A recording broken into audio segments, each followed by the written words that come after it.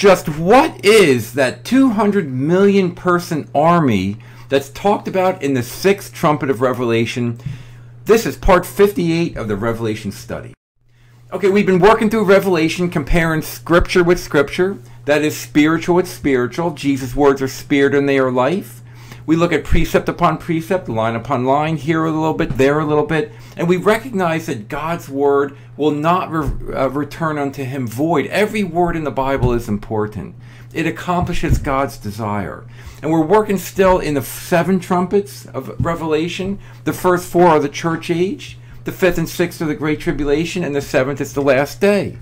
Please consider subscribing to this channel, The Rock of Offence. There's a little red button in the bottom right hand corner. And let's move on with this study. Okay, so let's review the sixth trumpet. We looked last time at the loosing of the four angels at the river Euphrates, and that that points to the Great Tribulation, the, the establishment of the Babylonian army. Satan is the king of, of Babylon. Babylon is the false Christian church of the end time. And they go out to slay the one third. God's people are persecuted. They're they're they're affected. They're they're they're put to silence. They're hated. Uh, so today we're going to look at the 200 million person army. We're going to look at that number. It has important spiritual meaning for us. And then beyond this video, we'll look at a little bit more on the description of the army as well. So let's move on in the study. Okay, and here's the verse. The number of the army of the horsemen were 200,000 thousand, and I heard the number of them. So what is and if you if you calculate 200,000 thousand, that's 200 million. That's the army of this horseman at the Euphrates. And there's been many people in Christianity that teach wrong things about this, depending on on how they believe in prophecy. Uh, most believe that this is a literal number. It'll actually be exactly not 200 million in one, not 200 million in five. It'll be exactly a 200 million man army. And often they, they say, well, this is going to be the Chinese army, but nobody else is that big to have such a big army. And it's coming from the east. But we're going to find out that we, as we know already in the book of Revelation, we compare scripture with scripture. We don't make wild guesses like that. There's a spiritual meaning to these numbers, and we're going to look at that right now. Okay, so let's look at this number 200 million a little bit closer to, to come to truth. Literally in the Greek, it's it's the word duo, murius, murius. It li- literally means two myriads of myriads. Uh, in myriads, sometimes it's translated as the number 10,000 to distinguish it as a bigger number than 1,000. Uh, so if you do duo, murius, murius, 2 times 10,000 times 10,000, you come to 200 million. So it's important before we, we go on, let's figure out, let's understand from the Bible what is a myriad, what does it really represent, and what in the world does the number two symbolically represent? We know that numbers have symbolic meaning, especially when they're used in the book of Revelation, which is very, very highly symbolic. So let's move on and look at this a little bit closer. We see myriad, uh, it, it, it simply points to a great multitude. Luke 12, 1. In the meantime, when there was gathered together an innumerable multitude, and that word, that phrase, innumerable multitude, is the Greek word myrias, of people. It wasn't exactly 10,000 people. So the translator said, well, it's an innumerable multitude. It's bigger than a thousand, but it, it's, it's meant to say there's a lar- large amount of people. Uh, in so much as they trode upon one another. So it was quite the crowd. 1 Corinthians 4.15. For though you have 10,000, and again that's the word murius, you have 10,000 instructors in Christ, yet have ye not many fathers. And that's used symbolically. Nobody has 10,000, exactly 10,000 instructors in Christ. It's used symbolically of being a large number. Uh, and again in Jude 14, behold, the Lord comes at ten thousands of his saints, murias.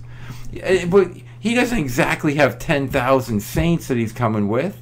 It's a symbolic number for a great multitude. And we also see myriads of myriads, which is used in Revelation 9. It's also the same phrase as used in Revelation 5, referring to the angels around the throne in the throne room of God. I heard the voice of many angels, and the number of them was 10,000 times 10,000. Myrius, myrius, and thousands of thousands. It just simply represents a large, large amount of angels were around the throne. It's not meant to be exactly a hundred million and then thousands of thousands on top of that. Okay, but now we need to look at the number two, duo. There's a symbolic meaning of two in the Bible. Usually, it's a good, a positive meaning, the witness of God. Revelation 11, I will give power unto my two witnesses. They shall prophesy 1260 days, clothed in sackcloth. These are the two olive trees, the two candlesticks standing before God of the earth, and that's symbolic language. And in the context of Revelation 11, it was pointing to the symbolism of Moses as the law and Elijah as the prophets, which we also see the transfiguration in Matthew 17. But we see two witnesses of Revelation 11. We see two as Christ sent out the 70 uh, disciples. He sent them out two by two, Luke chapter 10 two by two into every into, before his face into every city and place. And that's a symbolism of the the union or the unity of two becoming one. We see the two advents of christ his first coming and his second coming. Uh, we see the old covenant and the new covenant. They all have merged into one bible but there was two pieces. Israel and the church the two become one but there were two entities that became one in christ the two tablets of the Ten Commandments. Every word is established by two or three witnesses. So we see the number two. There's strong evidence in the Bible that this is the witness of, in these passages are of God. But there are also two can represent false witnesses. And a very what we see in Revelation 13, the beast and the false prophet, which we'll look at in future videos. Those are two false witnesses during the Great Tribulation. But we also see in 1 Kings 21 that Jezebel, that wicked queen Jezebel, sends out two false witnesses because she wants to steal the neighbor's yard, the vineyard. And all that has symbolic meaning, of course. And set two men, sons of Belial, to bear witness against him, against Naboth. And there came in these two men, children of Belial, and sat before him. And the men of Belial witnessed against him. Two false witnesses, even against Naboth in the presence of the people, saying Naboth did blaspheme God and the king. Then they carried him forth out of the city and stoned him with stones, and he died. And they sent to Jezebel, saying Naboth is stoned and is dead. They were two false witnesses. And Jezebel is a symbol of a false church, which we'll look at more when we get to our study on Babylon. But we see two can also be false witnesses. Okay, so let's just tie this together. So this army of two myriads of myriads it's pointing to the, the number two points to a false witness and the myriads means a great multitude. And we know that this army is loose from the river Euphrates, which represents Babylon. And when we pull all these pieces together, especially in the context of Revelation, it's pointing to the false witness of the end time false Christian church, Babylon. We see that in the sixth bowl judgment, Revelation 16. The sixth angel poured out his vial upon the great river Euphrates again and the water thereof was dried up, that the ways of the kings of the east might be prepared. And that's pointing to the, the kingdom of Satan, the kingdom of false witness, the kingdom of lies. And he gathered them into a place in Hebrew tongue called Armageddon. It's, it's a gathering at, during the Great Tribulation. There's a gathering of Satan's kingdom that's going to stand against God's kingdom. We also see we, we in the fifth trumpet, which we've already looked at, that the locust there pointed to Babylon. So we see this thread of Babylon through the book of Revelation. Revelation 9, 2 and 3. He opened the bottomless pit, referring to the great tribulation. And there came out of the smoke locust upon the earth. And unto them was given power as scorpions, the earth of power. It's the false witness. It's the false Christian church. It's the, the Satan's kingdom. Satan it comes as an angel of light uh, we, we see also going back to the Old Testament prophets, which extensively talked about the Babylonian captivity. Jeremiah, Ezekiel, Daniel, and many of the minor prophets and some of Isaiah. But in Joel we read, And that which the locust has left, the cankerworm has eaten, for a nation has come up upon my land, strong and without number, whose teeth are the teeth of a lion. That nation in context, in Joel, is the nation Babylon, which came to destroy Judah Jerusalem, the land of Judah, and make it desolate. That, that's what that's what happens during the Great Tribulation. The Babylonian captivity is a type of the Great Tribulation. We see Babylon, the same theme, is tied into Revelation 17 and 18. The woman, Babylon, was arrayed in purple and scarlet color and decked with beautiful gold and beautiful precious stones and pearls and having a golden cup in her hand, but it's full of abominations and filthiness of her fornication. And that's what false churches do.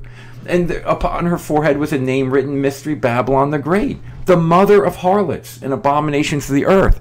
Babylon, Satan's kingdom, is the mother of harlots. Harlots refer to other churches, it's the false churches in the end time great tribulation. They're going to be all around us. And even today we see that happening. And the abominations, when we look at that in context, it's the worshiping of other gods and idols. That's what the Old Testament says abominations are. It's worshiping anything else besides God. And that's what Babylon's all about. It's all about worldliness in the church. Okay, so just a quick summary of this uh, study. We saw Euphrates, we know from the last part, part 57, points to the Babylonian army being loosed. The myriads of myriads is an innumerable great multitude. This is the end time during the Great Tribulation. There's this duo, Murius, Murius, these two myriads of myriads. Sometimes it's translated as 200 million uh, or uh, the 200,000 thousands. But it really, we should think about it as two being the false witness of the Babylonian church, the great innumerable multitude that come against the church in the Great Tribulation. It's the false witness of the end time false Christian church Babylon. We, we're going to have a lot to say about that in future videos. Uh, so, but for now, we're going to move to the next video, part 59, the sixth trumpet still. And we're going to look at the details of this army, this army of horsemen, and what they look like and what they do. And we're going to see more harmony with this idea of Babylon is attacking the true Christians. Please consider subscribing to this channel, The Rock of Offence, and thank you very much for watching this video.